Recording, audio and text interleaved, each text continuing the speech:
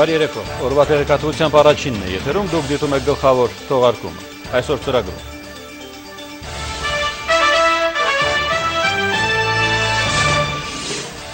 Դատախազությունում ստեղծվել է աշխատանքային խումբ, որը կվերահսկի ընտրական գործընթացի օրինականությունը։ Ներքաղաքական ասուլիսներ, ընտրությունների նախապատրաստական փուլը մոտենում է ավարտին։ Նոր շրջադարձ Սիրիական թնջուկում։ Եվրամիությունն արգելափակել է Սիրիայի առաջին տիկնոջ բանկային հաշիվները, իսկ Կրեմլը անընդունելի է համարում նույնիսկ ուժի սպառնալիքը Դամասկոսի հասցեին։ Մեկնարկում է երաժիշտ կատարողների վերածնունդ 4-րդ միջազգային փառատոնը։ Փառատոնին պատրաստում է նաև հանրապետության երկրորդ քաղաքը։ Նախ պաշտոնական մի հաղորդագրություն, նախագահ Սարգսյանին այսօր իր հավատարմագրերն է հանձնել Հայաստանում Եթովպիայի արտակարգ եւ լիազոր դեսպան Կասահուն Դենդեր Մելիսին։ Նախագահը շնորհավորել է դեսպանին պաշտոն ստանձնելու կապակցությամբ մաղթել հաջողություններ։ Սերժ Սարգսյանը կարևորել է տարբեր ոլորտներում համագործակցությունը զարգացնելու եւ հայ-եթովպիական քաղաքական երկխոսությունն ակտիվացնելու նպատակով իրավապայմանագրային անհրաժեշտ դաշտի ստեղծման ուղղությամբ աշխատանքը։ Զրուցակիցներն արձանագրել են միջազգային կազմակերպությունների շրջանակներում հաջող փոխգործակցությունը։ Եթովպիայի կառավարությունը դեսպանի հավաստմամբ շահագրգիռ է Հայաստանի զարգացնել հարաբերությունները։ Այժմ գանք ներքաղաքական հարորյային։ Երեք ժամը 18-ին լրացավ կուսակցությունների և թեկնացուների պաստաթղթերը կենտրոնական ընտրական հանձնաժողով ներկայացնելու վերջնաժամկետը։ Հայաստանի կենտրոնական ընտրական հանձնաժողովը սկսել է 8 կուսակցությունների և 1 նախընտրական դաշինքի գրացման գործընթացը։ Այսօր հայտարարել է հանձնաժողովի նախագահ Տիգրան Մուկուչյանը ընտրատարածքային հանձնաժողովներն էլ սկսել են մեծամասնական համակարգով առաջադրված տեխնացուների գրանցումը։ Նշեմ, որ 41 ընտրատեղամասերում առաջադրվել է 180 տեխնացու։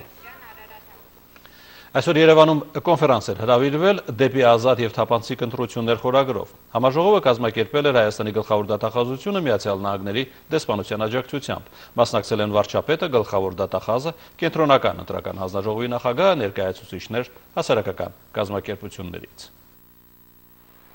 Պատգամավորության թեկնածուների առաջադրումն ավարտված է ընտրապայքարը մեկնարկած եւ այսօրվանից բոլոր կուսակցությունների ներկայացուցիչները, քաղաքական գործիչները եւ ընդհանրապես յուրաքանչյուր քաղաքացի իր ընտրական իրավունքի խախտման վերաբերյալ ցանկացած փաստով կարող է դիմել գլխավոր դատախազություն։ Աղվան Հովսեփյանի հրամանով ստեղծվել է դատախազական աշխատանքային խումբ այդ դիմումներին ընթացք տալու համար։ Այդ աշխատանքային խումբը կզբաղվի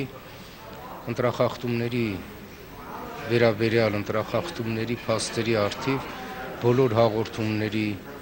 գրանցման, հաշվառման, դրանց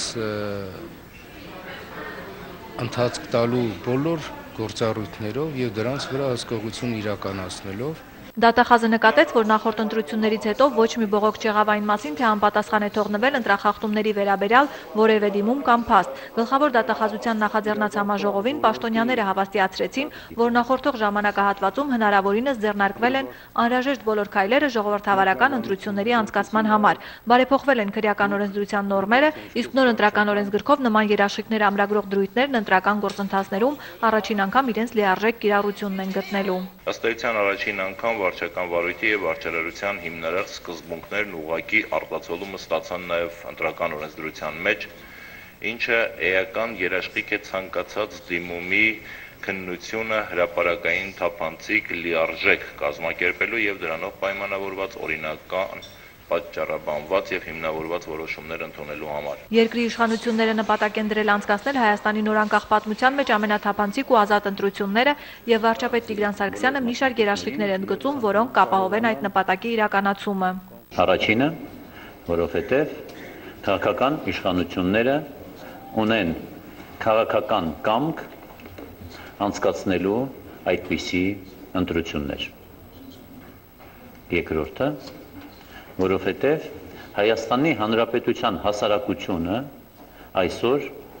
առավել քան երբևիցե պատրաստ է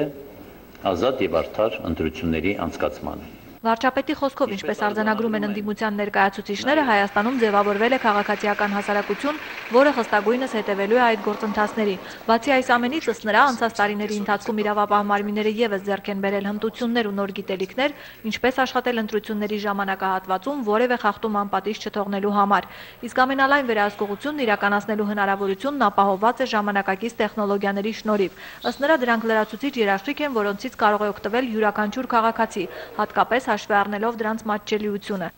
Համաժողովին աջակցող ԱՄՆ դեսպանատան ցանկությունն է տեսնել, որ Հայաստանը հաջողում է ժողովրդավար եւ բարգավաճող երկիր կառուցելու գործում, որում շատ կարեւոր է ազատ ու արդար ընտրությունների անցկացումը։ Դեսպանի ուղերձը մեկն է գործընթացի բոլոր մասնակիցներին։ Our main message uh, to both sides. Մեր հիմնական ուղերձը բոլոր կողմերի համար նույնն է՝ իշխանական ուժերի, իրավապահ կառույցների թե ընդդիմադիր ուժերի համար։ Կարևորում ենք հավասար կանոնների եւ պայմանների ապահովումը բոլոր ուժերի համար։ Ակնկալում եմ եւ հուսով եմ, որ ձեր հերոստանգերությունները հավասար պայմաններ կապահովեն։ Եթերաժամանակ կհատկացնեն ընդդիմադիր ուժերին, երբ նրանք կցանկանան հայտարարություններ անել, հարցազրույցներ ունենալ։ ԿԸՀ նախագահի կարծիքով ընտրական բոլոր գործընթացները լիարժեքորեն կարգավորված են ընտրական նոր օրենսգրքով։ Այդ նորմերը իրավունք են վերապահում ընտրական գործընթացի բոլոր մասնակիցներին, մասնավորապես տեխնացուներ, վստահված անձինք, ուրեմն դիտորդներ, զանգվածային լրատվության միջոցների ներկայացուցիչներ լիարժեք վերահսկողություն իրականացնել ամբողջ գործընթացի նկատմամբ։ Արմինե Ուդումյան, Արմեն Անդրեասյան, առաջին լրատվական։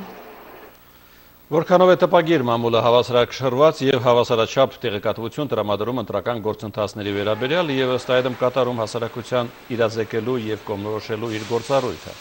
Այս պատկերը բարձելու է հասարակայնության հետ կապերի հայաստանյան ընկերակցությունը, որը 2.5 ամիս դիտարկելու է 16 թերթեր։ Ընտրվել են այն բոլոր թերթերը, որոնք ունեն 3000 եւ ավելի տպականակ եւ հանրապետական սպառում։ Ծրագիրը իրականացնում է ԵՀԿ Երևանյան գրասենյակը Եվրամիության 9900 եվրո ֆինանսավորմամբ։ Աջակցություն Հայաստանում երկու ընտրական գործընթացներին ծրագրի շրջանակում։ Դիտարկվելու է, թե ինչ տեղ ու ծավալ են զբաղեցնում ընտրական գործընթացներին վերաբերող թեմաները տպագիր մամուլում եւ թե որքանով է հավասարակշռված տարբեր քաղաքական ուժերին ու տեխնացուներին ներկայացնող տեղեկատվությունը։ Զանգվածային լրատվամիջոցներով տարածվելու են շապատական վերլությունները, իսկ վերջնական արդյունքները կանփոփվեն մայիսի 7-ին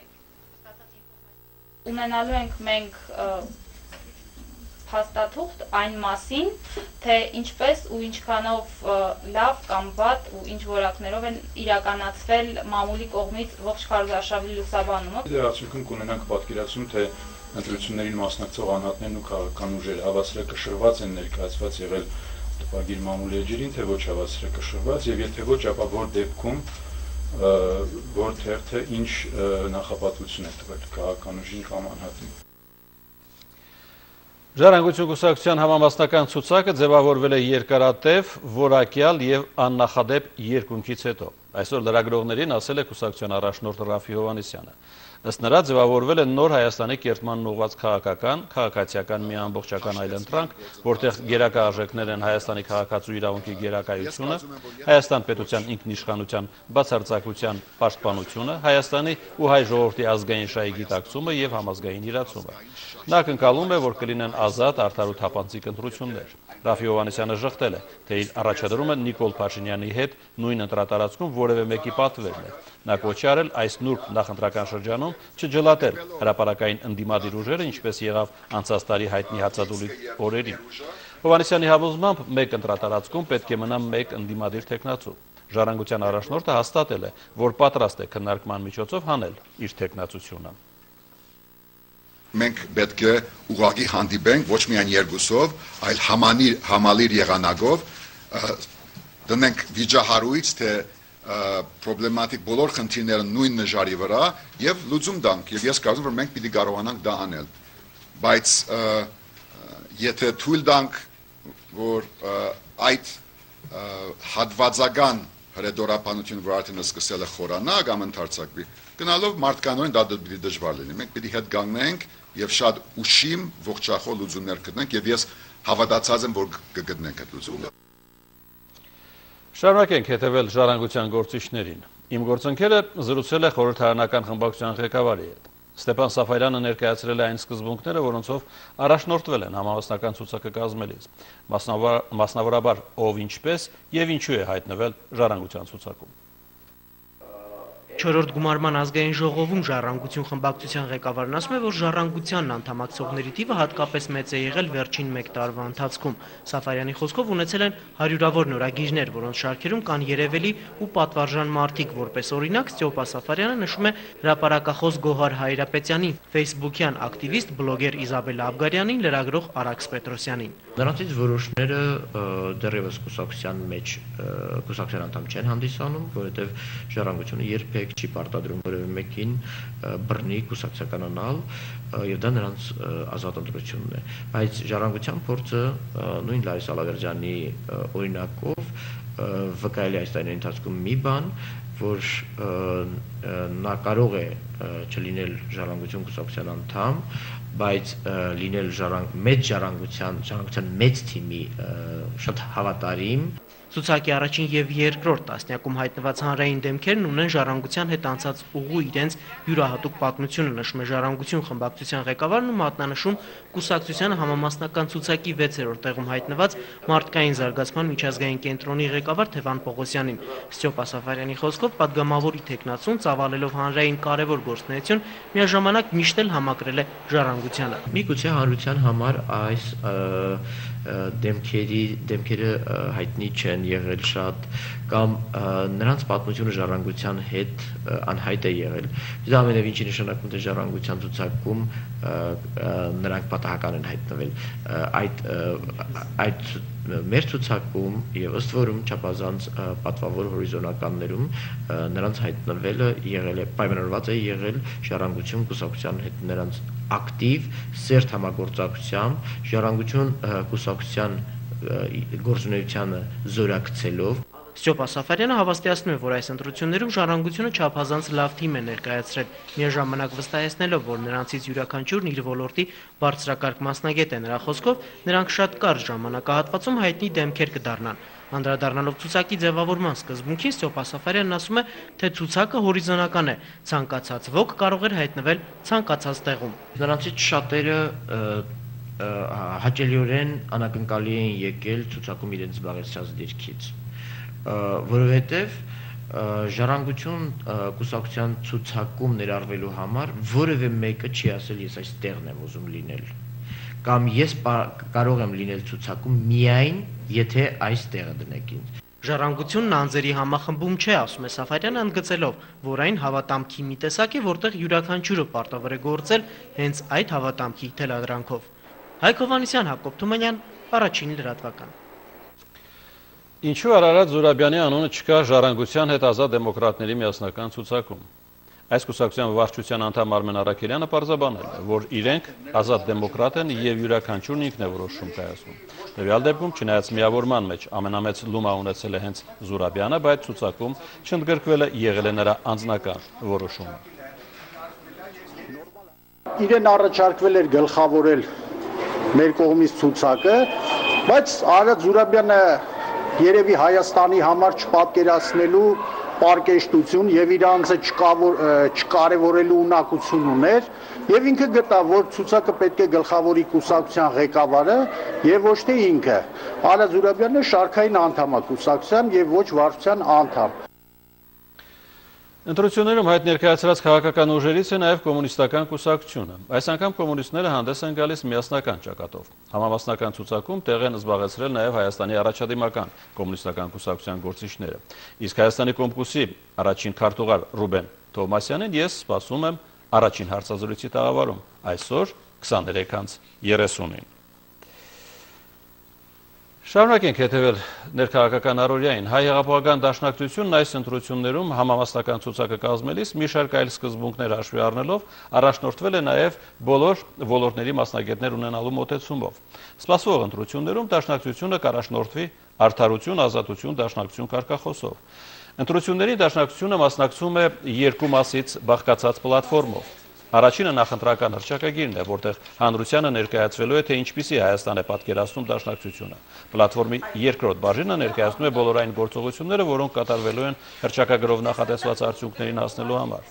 Կուսակցությունը հուսով է, որ երկու փաստաթղթերն ավելի առարկայական ու տեսանելի կդարձնեն դաշնակցության կողմից առաջ քաշվող մոտեցումները եւ կգրանցվի այնպիսի արդյունք, որը թույլ կտա կուսակցության ծրագրերը դարձնել իշխանության հիմնական խորատար առաջինը մենք ձգտում ենք, որ մենք ձևավորենք իշխանությունը կամ առնվազն այնպիսի ներկայություն ունենանք, որ առանց մեր պահանջի, առանց մեր պնդման որևէ որոշում չկայացվի։ Այսինքն, եթե մենք լինենք ընդդիմադիր դաշտում, ապա մեր կեցվածքը, մեր քվեարկությունը եւ մեր մոտեցումները լինեն այնքան ազդեցիկ, որ իշխանությունները չկարողանան շրջանցել դա, եթե մենք լինենք իշխանություն այն հզորությամբ, որ կարողանանք ամբողջությամբ իրականացնել մեր ծրագրերը, ապա հաշվի առնենք նաև հանրությանը եւ այն քաղաքական ուժերի տեսակետները, որոնք որ մասնակցում են այս գործընթացում։ Հայ ազգային կոնգրեսի անդամ Գագիկ Ջանգիրյանը վստահ է, որ եթե Հայաստանում այսի 6-ին եւ դրան նախորդող ժամանակաշրջանում ընտրական գործընթացներում խախտումներ չլինեն, ապա կոնգրեսը խորհրդանում մեծամասնություն կունենա։ Այսօր լրագրողների այդ հանդիպմանը պատասխանելով հարցին, թե ինքն ինչու մեծամասնական ընտրակարգով չի առաջադրվել, Գագիկ Ջանգիրյանը պատասխանել է, թե ինքը երբեք չի ասել, որ առաջադրվելու է մեծամասնական ընտրակարգով։ Նա տեղեկացրել է, որ այդ ընտրակարգով առաջադրվել է իր եղբայրը։ Կոնգրեսի ղեկավար Լևոն Տեր-Պետրոսյանի մամուլի խոսնակ Արման Մուսինյանն էլ անդրադառնալով փաստին, որ կոնգրեսը բոլոր 41 ընտրատարածքներում չի առաջադրել տեխնացուներ, ինչպես ավելի վաղ հայտարարել էր, ասել է. Կարծում եմ դա մեզ կներեն, մենք 38 ընտրական տարածներում առաջադրել ենք, դա նախնական որոշումից փոքրիկ շեղում է։ Գագիկ Ջանգիրյանը նաև դժգոհել է արտակարգ դրության իրավական ռեժիմի մասին օրենքից, նշելով, թե այն չի համապատասխանում սահմանադրությանը։ Եթե այս օրենքը մտնի օրինական ուժի մեջ, մենք թե այժմ թե ապագայում ամեն ինչ անելու ենք սրա հակասահմանադրականությունը ուրեմն ի ցույց դնելու համար ամեն ինչ։ Բոլոր իրավական լեգալ միջոցներով պայքարելու ենք։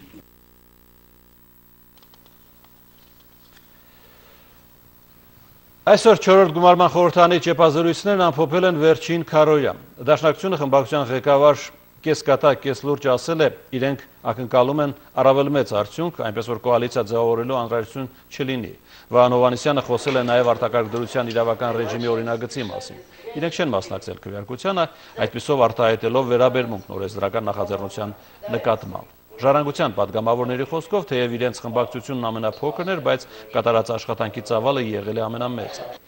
Օրինական խորհրդարանական ընդդիմությունն առաջիկա համապետական ընտրություններին կգնա ազգային ժողովում տեղերը քառապատկելու եւ համակարգային փոփոխությունների ակնկալիքով։ Մեծամասնական ու համամասնական առաջադրումներով ընտրապայքարում ժառանգությունն այլ ընտրանք է ներկայացնում, ասել է խմբակցության ղեկավար Ստեփան Սաֆարյանը։ Օրինաց երկիր խմբակցության ղեկավարն էլ վստահ է իրենց քաղաքական ուժին կհաջողվի կրկնապատկել տեղերը։ Անդրադառնալով կոալիցիոն 3 ուժերի հանրապետական, Բարգավաճ Հայաստան եւ օրինաց երկիր կուսակցությունների նախընտրական կարգախոսներում միևնույն հավատալ բառին Գալուս Սահակյանն ընդգծել է, որ ցանկացած քայլ կատարելիս հավատի գործոնն անհրաժեշտ է։ Հակառակ դեպքում ոչինչ չի ստացվի։ Ըստ Սահակյանի վկան Արցախյան հաղթանակն էր, եթե չհավատայինք, ազգովի արտարություն չէինք հասնի։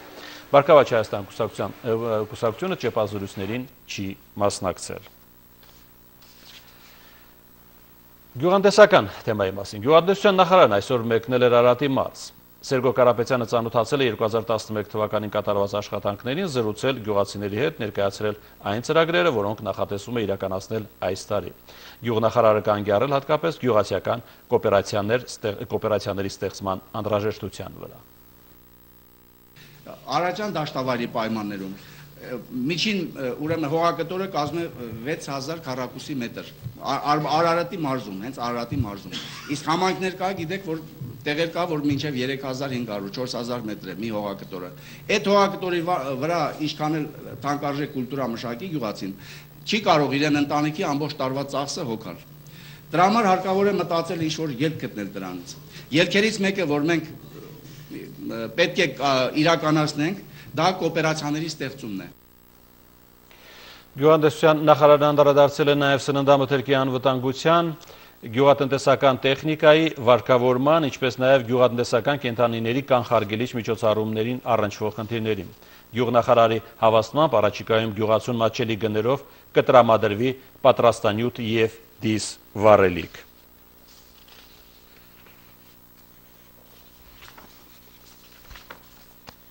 Ինչպես է պատրաստվում ընտրություններին հայ ազգային կոնգրեսը Շիրակի մարզում։ Նախապատրաստական աշխատանքներին ծանոթացել է Շիրակում մեր սեփական թղթակիցը։ Այս օրերին ընթանում են շտաբի ձևավորման աշխատանքներ, դրանք կգործեն ոչ միայն Գյումրիում, այլև 5 այլ տարածաշրջաններում, այդ թվում Արթիկ եւ Մարալիկ քաղաքներում։ Գյումրիից պատմում է Աննա Մարտիկյանը։ Այս 34 ընտրատարածքն է, ըստ որովհետեւ մեզ շատ ավելի հեշտ է աշխատելը, հա։ Այս 34-ն է կանաչ գույներով Կարմիրը 35-ն է եւ կապույտը 33-ը։ Հայազգային կոնգրեսի Գյումրիի գրասենյակի պատին պատկերավոր քարտեզն է ըստ ընտրատարածքների քաղաքի բաժանման։ Շիրակի մարզում են թիվ 33, 34, 35 եւ 36 ընտրատարածքները։ Մարզի 4 ընտրատարածքից 3-ում Հայազգային կոնգրեսն ունի նաեւ իր մեծամասնական կարգով առաջադրած պատգամավորության տեխնացուն, իսկ նախընտրական շրջանի նախաշեմին կոնգրեսն ավելի ակտիվ գործելու է ընտրատարածքային գրասենյակներով։ Գրանցումը կլինի աշխատանքի բաժանման, թեմատիկի իմաստով բաժանման process-ն է։ Մենք այս տարիների ընթացքում հավաքած մեր նյութերը, մեր մարզի քաղաքին վերաբերող բաշխելու են խմբերի Հակընտրատարածքային գրասենյակներում նախընտրական քարոզարշավի նյութերն են նախապատրաստվում։ Նախընտրատարածքն են բաժանել ենթատարածքների, որպիսի կազմակերպչական դժվարություններ չառաջանան։ Գյումրին ավելացել է եւս մեկ նորակառույց սմուշ երկու թաղամասով։ Ավելացել են նաեւ խնդիրները բնակչության տեղաշարժի, նոր գրանցումների ու հաշվառումների հետ կապված։ Մեր պայմաններում երբ նոր թաղամաս ձևավորվավ, այստեղ մարդիկ տեղափոխման որոշակի բնակավայրերից, ասենք քաղաքի մյուս տեղից, այնտեղ բոլորի աշխատանքները ծավալուն է։ Եթե ցուցակները արդեն հրապարակվեցին, այդ ցուցակները վերցնելով նոր կարող ենք որոշել, թե որ մասում ովքեր պետք է աշխատեն ու ինչքան մարդիկ պետք է աշխատեն։ Հատկապես այս 58 տաղամասում ու տարածում շատ ֆիրմի աշխատանքը ծանրավեր։ Հետո այստեղ ներքևի 5 փոքր թաղամ 5 թաղամասեր բանում Արցախում Մսի կոմբինատ, մսի կոմբինատ, որտեղ որտեղ մարդիկ տեղաշարժ են եղել, այնտեղից գնացել են ինքնուրույն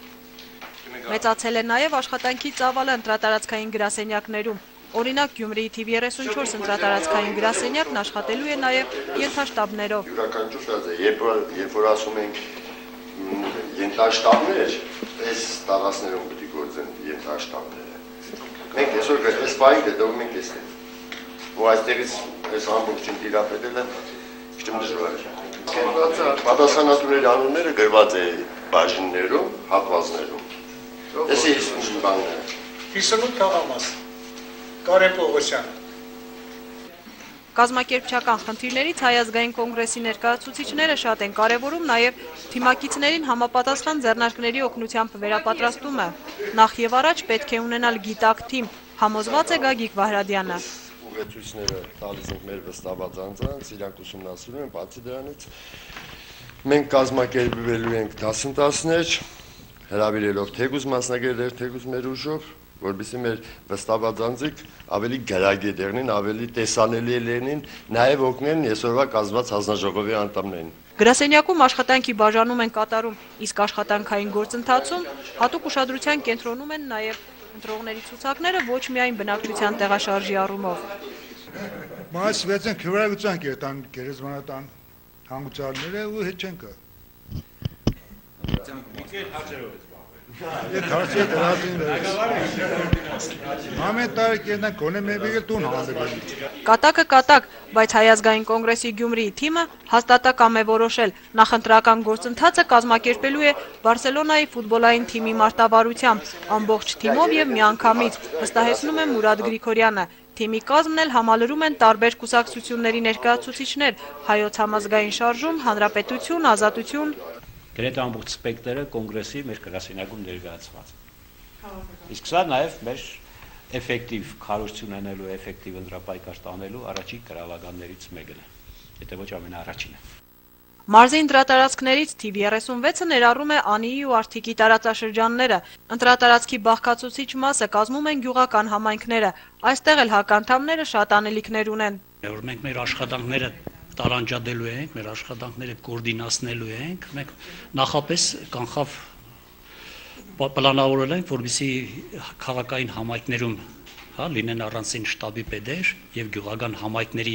համար մարալիքի տարածքում լինի առանցին շտաբի պետ, նմանապես եւ արտիկի գյուղական համայնքների համար լինեն առանցին շտաբի պետ։ Արթիկի տարածաշրջանի հակ գրասենյակում կազմակերպչական ակտիվ գործունեություն են ծավալում հատկապես գեղեցիկ սերի ներկայացուցիչները։ Դե ամեն ինչ անելու ենք, որպեսզի կոնե ընտրական այս process-ը հնարավորինս օբյեկտիվ եւ լինի թափանցիկ, ինչպես ներկայացվում է։ Աննա Մարտիկյան, Արտյոմ Ադամյան, առաջին լրատվական։ Այսքանը օրվա ներքաղաքական առօրյայի մասին, այլ թեմաների մասին։ Միջանկյալ ամփոփագիր ճանապարհային ոստիկանության պետի տեղակալի կողմից։ Ինչպիսին է պատկերը հունվարի 17-ից հետո, երբ մայրաքաղաքում տեղադրվեցին տեսախցիկներ ու արագաչափեր։ Ըստ վիճակագրության 2011-ի հունվար-մարտի համեմատ 2012-ի նույն ժամանակահատվածում ճանապարհատրանսպորտային պատահարների քանակը նվազել է 11-ով, զոհերինը 6-ով, մարմնական վնասվածքներ ստացածներինը 17-ով։ Ընդհանուր առմամբ, խախտումներն արձանագրող ընկերությունը 22600 խախտման մասին տեղեկացրել է հասցեատերերի, կազմվել է 145 միլիոն դրամի արձանագրություն։ Ընդհանուր խախտումների թվում երթևեկության խախտումների քանակը հնգապատիկ ավելի է արագության գերազանցման ցուցանիշից։ Հայկ Սարգսյանը նաև տեղեկացրել է, որ այս տարի մայրաքաղաքի 15 խաչմերուկներում եւս կտեղադրվեն տեսախցիկներ, իսկ մայրուղիներում 50 արագաչափ։ Յուրաքանչյուր երթևեկության մասնակից, մասնավորապես վարորդ, մոտենալով տեսախցիկին, արագաչափերին, բոլորս նկատում ենք, թե ինչպես են վարորդները այդ հատվածում դանդաղեցնում մեքենան, պահպանում սահմանված արագության նորմերը։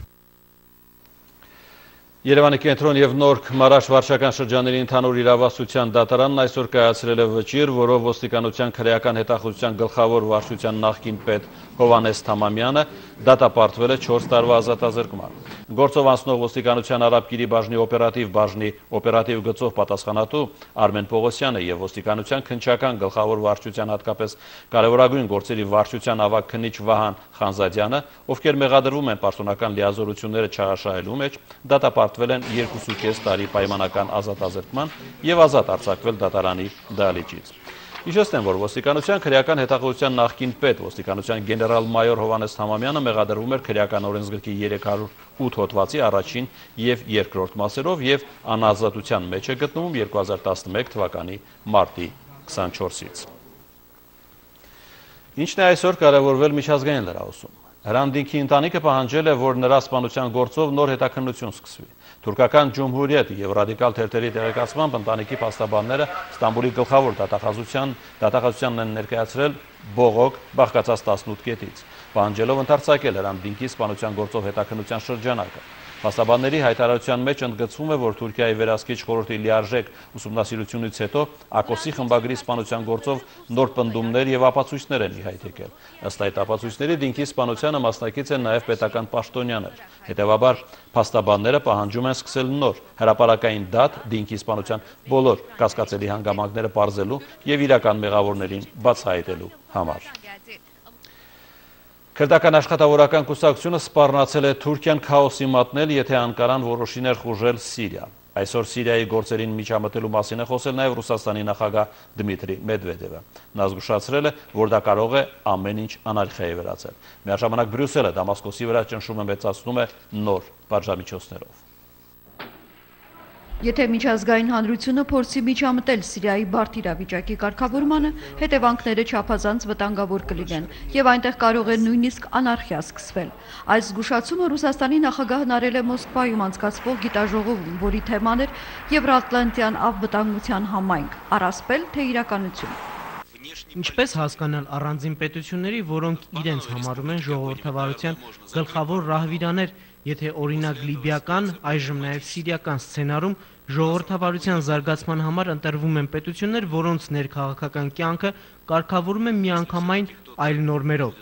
Դա ժողովրդավարություն է, թե ոչ ժողովրդավարություն։ Կրեմլի ղեկավարը նաև անթույլատրելի է համարել, որ միջազգային գործերում ուժ կիրառվի առանց ՄԱԿ-ի անվտանգության խորհրդի թույլտվության։ Մեդվեդևը համոզված է, որ միջազգային հանրությունն ի վիճակի է կարգավորել նման դեպքերը, եթե կողմնորոշվի ոչ թե քարոշչությամբ, այլ մշակի ընդհանուր մոտեցում։ Ինչ վերաբերում է քարոշչությանը, Սիրիայի պետական հերոստատեսության լրագրողները վերլուծելով Հոմսի նավթատարի պայթյունի մասին պատմող ամերիկյան CNN հերոստալիքի ցուցադրած տեսանյութը, ողրզել են, որ որ ապօրինաբար Սիրիա մտած ամերիկացի լրագրողները եւս մասնակցել են այդ ահաբեկչությանը։ Սիրիական գործակալությունները CNN-ին մեղադրում են երկրի իրավիճակի մասին մշտապես կեղծ տեղեկություններ տարածելու համար։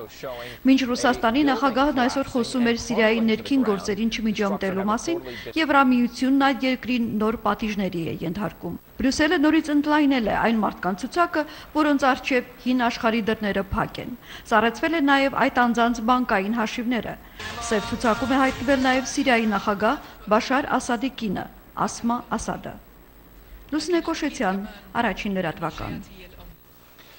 Եվրամիությունն այսօր նոր որոշմամբ խստացրել է Իրանի նկատմամբ պատժամիջոցները եւ դրանց ժամկետը երկարաձգել մինչեւ 2013 թվականի ապրիլ։ Այս անգամ Թերանին պատժում են մարդու իրավունքները խախտելու համար։ Եվրոպա մտնելու իրավունքից զրկվել է եւս 17 իրանցի։ Սառեցվել են նաև նրանց հաշիվները։ Այս համալրումից հետո եվրոպական սև ցուցակում ընդհանուր առմամբ արդեն ընդգրկված է 78 իրանցի։ Բացի այդ, Եվրամիությունն արգելել է սարքավորումների արտահանումը Իրան, որոնք կարող են օգտագործվել էլեկտրոնային եւ հեռախոսային հաղորդագրությունները վերահսկելու նպատակով։ Ֆրանսիայի նախագահ Նիկոլա Սարկոզին կարծում է, որ բոլոր մայրցամաքներն անխտիր պետք է իրենց ներկայացուցիչներն ունենան միավորված ազգերի կազմակերպության անվտանգության խորհրդում։ Հերթական նախընտրական ելույթում Սարկոզին առաջարկել է անվտանգության խորհրդի մշտական անդամի կարգավիճակ տալ Գերմանիային, Ճապոնիային, Հնդկաստանին եւ մեկ պետության Աֆրիկայից։ Անվտանգության խորհուրդը պետք է բարեփոխել, որպեսզի աշխարհի միլիարդավոր մարդիկ աչքաթող աչքաթող չարվեն, ասել է Ֆրանսիայի նախագահը։ Անվտանգության խորհուրդն ունի 5 մշտական անդամ։ Դրանք են Ռուսաստանը, Միացյալ Նահանգները, Մեծ Բրիտանիան, Ֆրանսիան եւ Չինաստանը։ Եվս 10 երկիր խորհրդի անդամ են ընտրվում 2 տարին մեկ, որոնք ի տարբերություն 5 մշտական անդամների վետոյի իրավունք չունեն։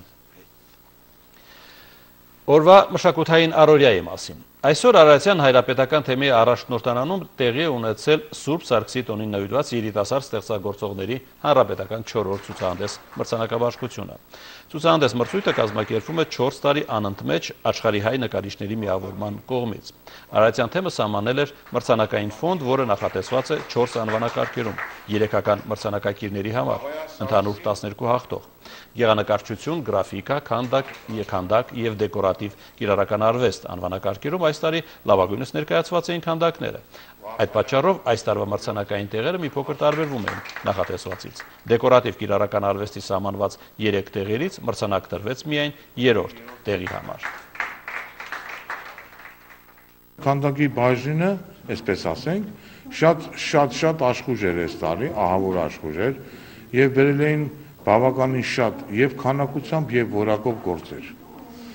Մենք էլ փորձեցինք այդ մարկանց խրախուսել մեր ձևով եւ քանի որ դեկորատիվ կիրառական արվեստը համայնա թե կորչ չէր բերել, մենք փորձեցինք մեկը մեկով կոմպենսացնել, այսինքն եթե առաջի երկրորդ տեղ չունենք դեկորատիվ կիրառական արվեստին, այդ գումարները տեղափոխեցինք քանդակի բաժնի վրա եւ քանդակում երկրորդ եւ երրորդ տեղերը կրկնակի դարձան։ Հոլիվուդյան ամենահայտնի հիթերը այսօր հնչել են հայ-ռուսական սլավոնական համալսարանում։ Հայ-ամերիկյան դիվանագիտական հարաբերությունների 20-ամյա հոբելյանի կապակցությամբ Հայաստանի պետական երիտասարդական նվակախումբը ելույթներով հանդես կգա 8 բուհերում։ Այսօր հերթը սլավոնականինն էր։ Հնչել են Գրեշվինի, Բրենստայնի եւ այլ անվանի կոմպոզիտորների ֆիլմերի համար գրված ստեղծագործությունները։ Համերգաշրջան նախագծի վերջին համերգը կկայանա Հայաստան-ամերիկյան համալսարանում մարտի 27-ին։ Մենք արդեն մի մեծ երիտասարդների բանակ, որոնք սատարում են, որոնք լսում են, որոնք հիանում են եւ ես վստահ եմ ավելի քան որ մենք ունենք արդեն շատ լուրջ խնդիր լուծած, որ մեր երիտասարդները լսում են դասական երաժշտություն եւ ինձ թվում է որ դա ամենակարևոր կարևոր գաղափարներից է հասարակության մեջ։ Ապրիլի 10-ից մեկնարկում է երաժիշտ կատարողների վերածնունդ 4-րդ միջազգային փառատոնը, որին առանձնահատուկ է պատրաստում Հանրապետության երկրորդ քաղաքը։ Փառատոնը կեզրափակվի ամփոփիչ գիտաժողով եւ համերգային ծրագրերով մայրաքաղաքում։ Երևանի Կոմիտասի անվան պետական կոնսերվատորիայի Գյումրի մասնաճյուղի բոլոր բաժիններում ակտիվությունը սովորականից էլ ավելին է։ Պատրաստվում են վերածննդին։ Ապրիլի 10-ին կմեկնարկի երիտասարդ կատարողների 4-րդ միջազգային մրցույթ փառատոնը։ Ուզում եմ լավ ներկայանալ ու մրցանակցել ու ոչ միայն Սվետլանան։ Շուտով գյումրեցի երիտասարդ երաժիշտ կատարողներն հնարավորություն կունենան հյուրընկալելու աշխարհահռչակ երաժիշտների մարդկային ռեսուրսների զարգացման Փյունիկ հիմնադրամի Երևանի Պետական կոնսերվատորիայի Գյումրիի մասնաճյուղի եւ Հայաստանի մշակույթի նախարարության նախաձեռնությամբ իրականացվող փառատոնն այս տարի կգերազանցի բոլոր սպասումները։ Փառատոնի կազմակերպիչների աշխատանքային երուզերը հասել է իր բարձրակետին առանց լիմիտի աշխատանքային ժամեր են, աշխատանքային օրեր, դուս էքստրեմալ վիճակ է սա փառատոնային վիճակ է։ Յուրաքանչյուր անհատ մասնակից ուղարկում է իրեն հայտը ըստ տարիքային անվանակարգի, որտեղ 4 տարիքային խումբ է ընդգրկում մրցույթը։ Ինչպես եւ 40-ից ավելի գործիքային անվանակարգում իրենց տաղանդը ներկայացնելու համար արդեն ստացվել է ավելի քան 1200 մասնակցության հայտ։ Այս տարվա մրցանակային անվանակարգերն ավելացել են եւս երկուսով, իսկ տաղանդավոր երիտասարդ կոմպոզիտորներն Հայաստանում առաջին անգամ կմրցեն վերածննդի շրջանակներում։ Շուտով Գյումրի կժամանեն անհատ կատարողներ ու նաև պատվիրակություններ 25 երկրից։ Այս տարի ավելացել է Լեհաստանը, ավելացել է Ուզբեկստանը, ավելացել է Ղազախստանը, Իտալիան, Ապրիլի 10-ին մեկնարկող միջազգային մրցույթ փառատոնին 15-ին կհաջորդի Հայաստանի եւ համաշխարհային մշակույթը խորագրով միջազգային գիտաժողովը, ինչին իրենց գիտական աշխատություններով մասնակցության հայտ են ներկայացրել գիտնականներ 11 երկրից։ Երեք միջազգային գիտաժողով մենք նվիրել ենք հայ-ռուսական մշակույթների ցարկացմանը։ Այդտեղ ստեղծեցինք Հայաստանը եւ համաշխարհային մշակույթը այս երկխոսությունը Երկխոսությունների արդյունքներն հրատարակվում են նաև արվեստ եւ ժամանակ հանդեսում, սակայն կարևորագույն ձեռքբերումը կազմակերպիչներն համարում են փոխճանաչումն ու նոր կապերի հաստատումը։ Գիտաժողովի ավարտը կազդարարի բարեգործական համերգների մեկնարկը հայրաքաղաքում, մայրաքաղաքում եւ տարբեր մարզերում, իսկ արտասահմանցի հյուրերին դեռ մեր երկրի պատմամշակութային գանձերին էլ ծանոթացնելու խնդիր ունենք։ Դրա համար կկազմակերպվեն էքսկուրսիաներ, պատմաճարտարապետական հուշարձանները Հայաստանի 7-ից մինչև 35 տարեկան վերածննդի մասնակիցների շարքում են Ժան Տերմերգերյանը, Մարկո Մինան եւ համաշխարհային ճանաչում ունեցող շատ երաժիշտներ։ Իսկ նրանց կողքին հանդես գալու եւ մրցանակային տեղ ունենալու համար պետք է շատ աշխատել։ Զարյացած լինելու ժամանակ հիմնականում արկում եմ բախ, որը հանգստացնում է։ Իսկ ուրախ լինելու տարբեր, օրինակ Շոպեն, Ժորայի տրամադրությունն այս անգամ մարտական է, պայքարելու է մրցանակային տեղի համար։ Նույն տրամադրվածությամբ երաժիշտ կատարողները պարապմունքներ են անցկացնում նաև 25 երկրում, իսկ փառատոնի ընթացքում դեռ անակնկալներ են սպասվում։ Աննա Մարտիկյան, Արտյոմ Ադամյան, առաջին լրատվական։ Եվ մեր վերջին մշակութային անդրադարձը։ Նախագահ Սարգսյանը եւ Տիկին Ռիթա Սարգսյանն այսօր Ալեքսանդր Սպենձերյանի անվան օպերայի եւ բալետի ազգային ակադեմիական թատրոնում ներկային գտնվել հանրապետության վաստակավոր արտիստ Շուշան Պետրոսյանի մենահամերգին։